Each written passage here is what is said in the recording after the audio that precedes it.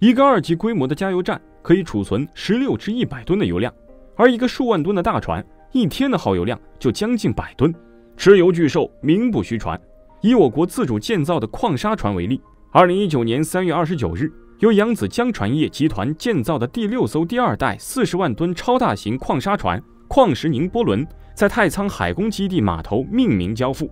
该船总长三百六十二米，型宽六十五米，型深三十点四米，结构吃水二十三米，航速十四点五节，续航两点五五万海里。理想状态下。十六点七个小时即可完成四十万吨矿砂的装货量。这些数据的完成都需要有动力设备来支撑。一艘轮船上消耗燃油的地方有很多，但最大消耗燃油的地方还是主机。矿砂船宁波号采用的主机是由大连 DMD 制造的七 G 八十 ME C 九点五主机，该主机额定功率为三万两千九百七十千瓦，燃油消耗率约为一百零五克每千瓦时。那么，该船每天的油耗就是主机的额定功率乘以燃油消耗率，最后再乘以二十四小时，大概在八十吨左右。以燃油价格五千元每吨来算，这样一艘巨轮一天光油钱就需要花费四十万元的人民币。那么，面对这样大的油量需求，大船是如何加油的呢？从画面中我们可以看到，大船停靠在码头，确定好燃油的标号以及加油的数量后。还雇佣了一个轮船与油商都认可的第三方检验机构，在机构公证人员的见证下进行燃油交易。这样做的目的是减少加油过程中因数量不够或者价格不合理而产生的争执。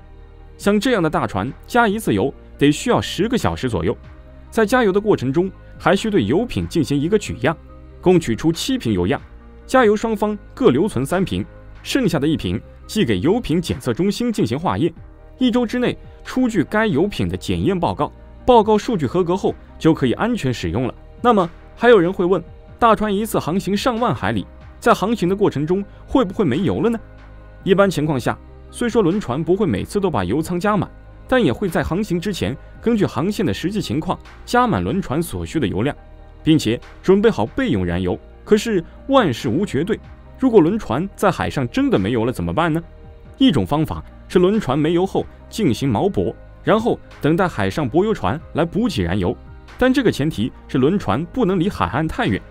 还有一种方法是在轮船快没油的时候提前靠港加油，在不能进行燃油补给的情况下，没油的轮船则是依靠远洋拖轮将其拉回去。如今，燃油仍然是轮船运行的主要动力，但随之而来的海上漏油事件也时有发生。二零二零年七月二十五日。于二零零七年建造的巴拿马级二十万吨散货船“若潮号”在毛里求斯东南部海域触礁搁浅，造成至少一千吨燃油泄漏，给海洋环境造成了很大的危害。